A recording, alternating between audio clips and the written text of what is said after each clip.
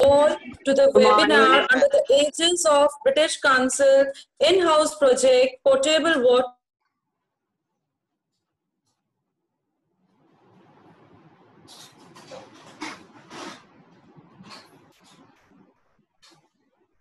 It gives me immense pleasure to announce the guest speaker for today's webinar, Dr. Jagriti Gandhi. She is the ex-alumni of our esteemed institutions. She has completed her MBBS from Maharishi Markandeshwar University, Ambala, and presently she is pursuing her MD in dermatology.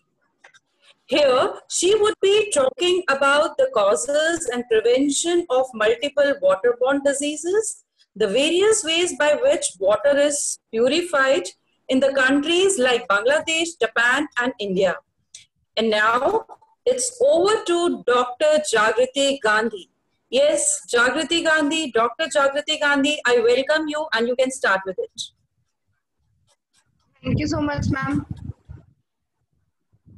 So, uh, students, today we'll be uh, discussing, as ma'am has already uh, talked about it, we'll be discussing about the waterborne diseases and the ways of purification of water. We'll be talking about the sources of water, the wells that are very, uh, that are the uh, sources for the uh, common sources in India, in Bangladesh, about the water related diseases, the waterborne diseases, the water purification that is done over the small scale and over the large scale, the filtration process that will uh, also include the chemical disinfection. We'll talking we'll be talking about hardness of water and its management, the water quality, what are the standards and the criteria, the surveillance of the drinking water quality, how is it done, and the water treatment that is done in Japan. It's different from India and Bangladesh, so we'll be discussing about it. What is safe and wholesome water? Safe and wholesome water is uh, the water which is free from pathogens, which is free from harmful chemical substances. It's pleasant to taste, that is, it's free of color and odor, and it is uh, usable for the domestic use. Uh, it is physically, biologically, and chemically fit and safe. What are the uses of water? I would like to uh, I would like to ask the students what uh, are the uses of the water.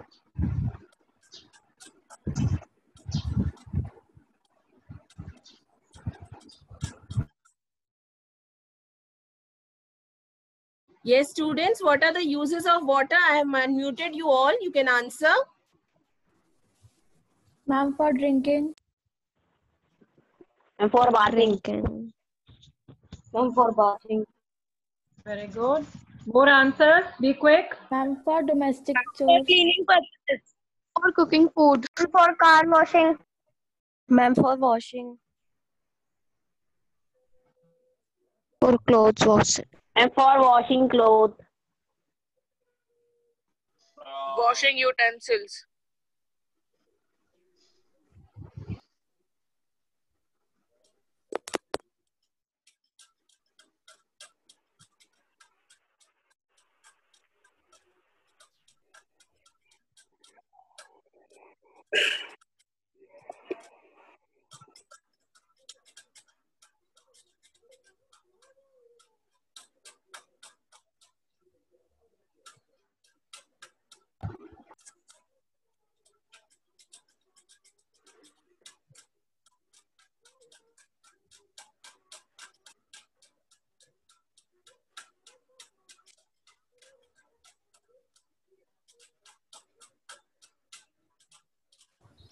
Uh, water also plays an important role in the wastewater management. Waste management, the sewerage management, which we'll be discussing. The daily water requirement per person is 4 to 5 liters per person per day. The water required, that is to meet the daily needs for the uh, urban domestic purposes, is 100 to 200 liters per capita.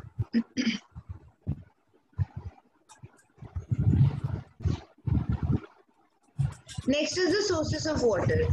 Uh, this we have been uh, taught about since like uh, our primary section. The sources of water includes the surface water and the groundwater. The surface water we have lakes, ponds, streams, rivers and storage reservoir and in the groundwater we have open wells, tube wells, artesian wells, springs and infiltrates. What are wells? Uh, basically now we'll be seeing about the layers of the earth, the ground uh, water level. The as you can see here there is the air in the water that is filled with pores. Next we have the gravel layer. The sand layer the uppermost is the sand layer. Next is the gravel layer. Then it will uh, the next layer uh, from uh, up top upwards to the bottom it's the low permeable layer and the lowermost layer is the ground water layer the wells are uh, shallow and the deep wells. The right one is the shallow well that will just reach the second layer, that is the gravel layer. And the first one, which is represented, is the deep well that will go on up to the groundwater, up to the lowermost layer. The water table level, the, they drop when well is in use Next, these are the various types of the wells. That is the dug well. That will be only, that is uh, artificial and that will be, uh, the, it will reach only the sand and the gravel layer. That is the subsurface water layer. Next is the gravel pad well. This is this will reach the gra uh, gravel layer from where fresh groundwater can be uh, taken out. Next is the open hole well and the dry well. The dry well is the uh, man-made one, and it will uh, will not be putting any. It is the it will act as the reservoir. The open hole well, this will be connected by the groundwater pressure. Next is the sanitary wells. These are the upcoming wells. This is very important. Uh, sanitary wells are, should be properly located.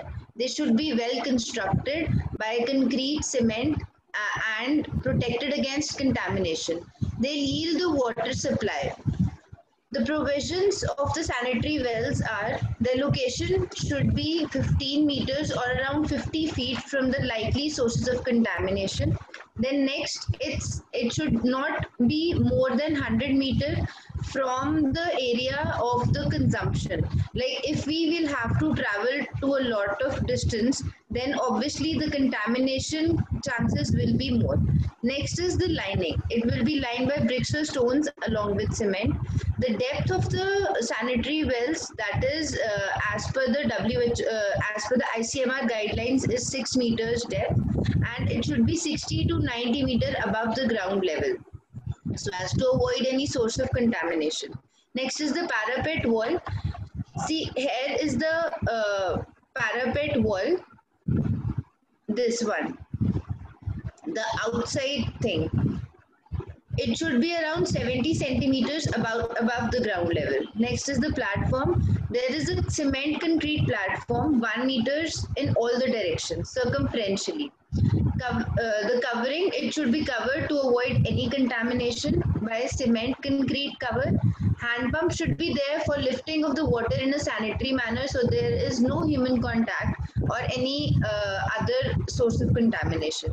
Next is the consumer responsibility. It is also important on the part of the consumers and the people to take the water in a very uh, proper way, in a very sanitized way the quality of water should be tested in in the terms of physical, chemical, and biological uh, uh, quality to be monitored. This is the sanitary well which we were we, which we were talking about. See, it has the uh, lining of the concrete and the stones with cement. It has a hand pump for the easy uh, taking out of the water without touching it and without any uh, without providing any source of this is the wall this is the cover well cover uh, made of cement this is the suction pipe. It is the concrete seal and the rock lining. This is the parapet wall, which we talked about.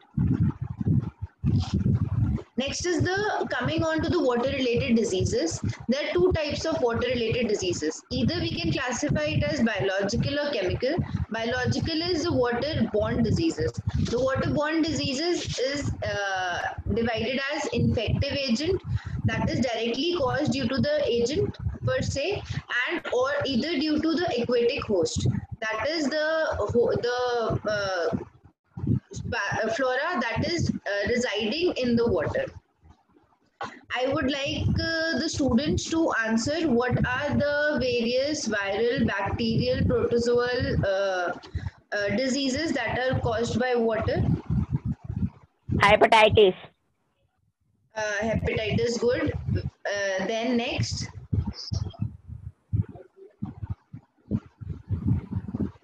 What are the other waterborne diseases? The common ones? Typhoid. Okay, very good. Next. Jaundice. Jaundice. Okay.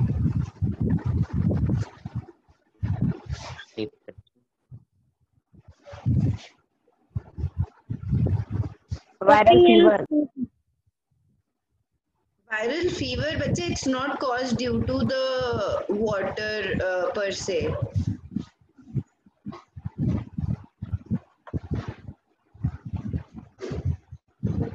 ma'am diarrhoea sorry ma'am diarrhoea okay good और I think cholera. Ma'am, cholera.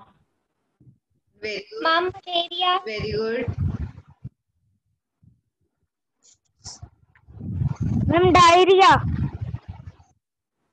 Diarrhea हो गया और Okay, so uh, in the viral we have hepatitis, hepatitis A, E, rotavirus. Then in the bacterial we have typhoid, shigella, bacillary dysentery.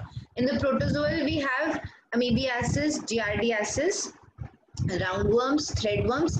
In the uh, aquatic host that are the residing uh, host the, in the water, we have snails, we have schistosomiasis that is caused by snails.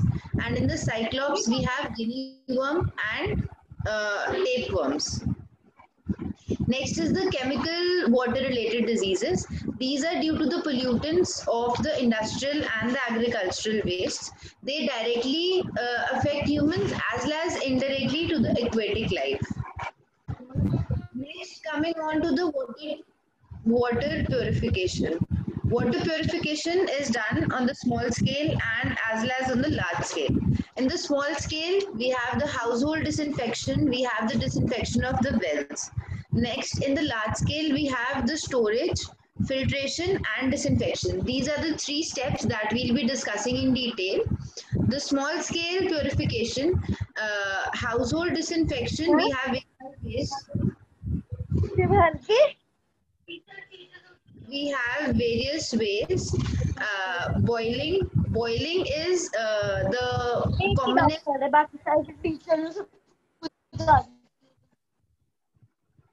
uh, boiling is the commonest method in the uh, household that is being performed.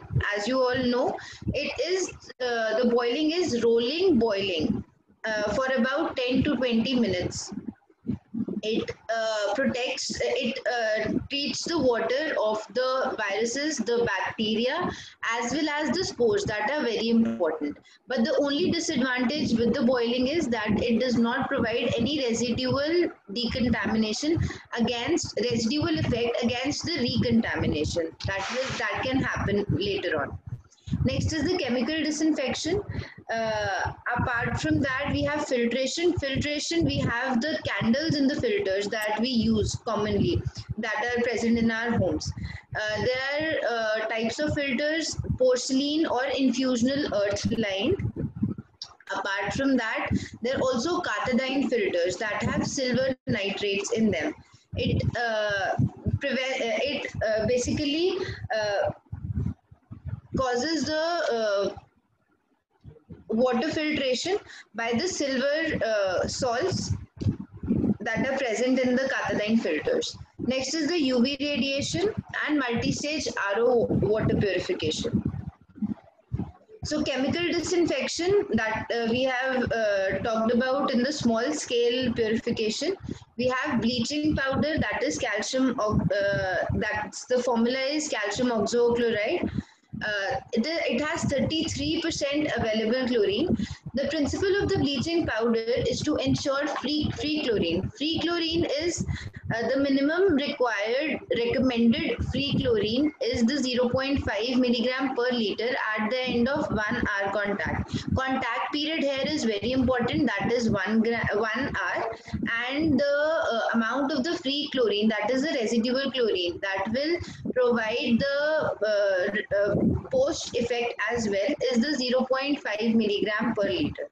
We can also do the chemical disinfection by chlorine solution by the high test hypochlorite that is the perchloron what is the difference in the perchloron it has quite high uh, chlorine free chlorine amount that is around 60 to 70 percent. Next is the chlorine tablets. They are used when we have to disinfect large quantities of water but the only problem with the chlorine tablets is it is they are costly.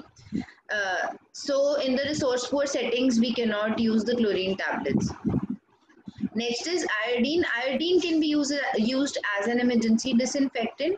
Potassium permanganate, KMNO4, that is very commonly you might have seen in the uh, in our households itself that uh, the mother our mothers they put in the tanks the crystals KMNO4 crystals. This turns the watercolor to pink, but this is not satisfactory agent for the water disinfection. So it should not be used ideally. Moving on to the large scale disinfection. The large scale disinfection, as we have already talked about, consists of three steps storage, filtration, and purification. The disinfection. The storage, it takes around 10 to 14 days.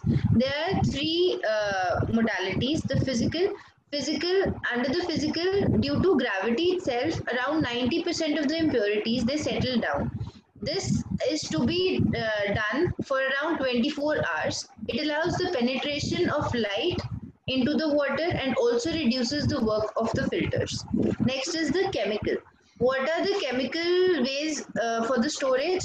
It's the aerobic bacteria that oxidizes the organic matter and it decreases the content of the free ammonia and also raises the nitrates, thereby causing disinfection to a small extent. Next is biological. Biological uh, bacterial counts during the storage they decrease. They there is a gradual drop around 90% in around 5 to 7 days. So the whole storage process it takes around 10 to 14 days to complete. Next is the filtration. Filtration as such it removes around 98 to 99% of the bacteria. There are two types of filters, rapid sand filter and the slow sand filter. The rapid sand filter is in a small area whereas the slow sand filter it covers a large area. The rate of filtration, the rapid sand filter, as the name suggests, is quite rapid 4000 to 7500 liters per meter square per hour. Whereas the slow sand filter, it is around the 100 to 400 liter per meter square per hour. The sand size in the rapid sand filter is uh, more than the sand size in the slow sand filter. That is why it rapidly filters the water. Next is the pre-treatment. It is required uh, coagulation as well as the sedimentation in the rapid sand filter. Whereas in the slow sand filters, only the sedimentation is the pre-treatment that is required. Rapid sand filters has have the advantage uh, we'll be discussing in the subsequent slides. It has the advantage of backwashing. It backwashes the water itself so that no cleaning is required. Whereas in slow sand filters, we need to scrape off the superficial layer so that the filter gets working, keeps on working. Uh, rapid sand filters are more skilled they remove the color as well and uh, the bacteria removal is around 98 to 99 percent in the rapid sand filters, whereas the slow sand filters have 99.9 to 99.99% removal of the bacteria because it's a slow process, so it removes a lot of the bacteria as compared to the rapid sand filters. There is no storage required in the slow sand filters, whereas storage is needed in the rapid sand filters. Here is the slow sand filters. The slow sand filters uh, they have here we can see they have the supernatant water reservoir uh, around 1 to 1.5 uh, meters. Then next is the graded sand bed. See 0.62 it is around 0.6 to 1.2 meters uh, in length. The sand bed will allow the water the supernatant water reservoir to percolate and to get filtered.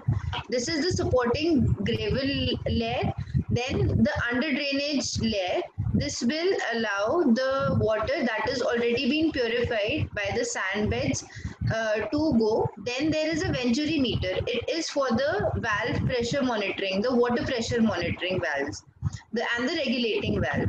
Then this will be uh, sent to the clear water reservoir. Here we have the the last the extreme right one is the clear water reservoir which we'll be get which we'll get after the processing of the water. This is the slow sand filter. The section of the filter bed is divided as such like uh, the top layers are the gravel fine gravel. Then we have the uh, as we go to the bottom we have the gravel sand size will increase and the porous sand size will subsequently increase Next, moving on to the rapid sand filter. What is the process of the rapid sand filter? From the river water, we'll add the alum. In the mixing chamber, this will move and also it will uh, also it will coagulate there. Next is the flocculation chamber where we'll run in, in the turbines and the flocculation will enhance the process of the mixing that we have already done with the alum in the water. Next is the sedimentation tank.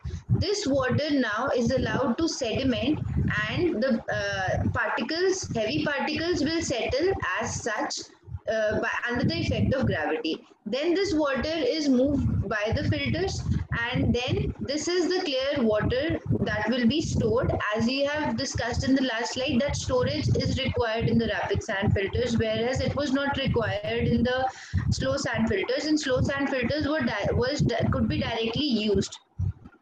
Here the clear water has to be stored and it has to be made fit for consumption under the uh, effect of chlorine after chlorinating. See here what it is. These are the this is the filter tank. So we have the wash troughs from where the water will come. The, there is the filter there are the filter sands through the different levels by which water will be filtered. These are the flocculation uh, these are the uh, flocculation chambers the perforated laterals here it will rotate and will enhance the process of the mixing the alum mixing. Then it will be uh, released from the cast iron ma uh, man manifold.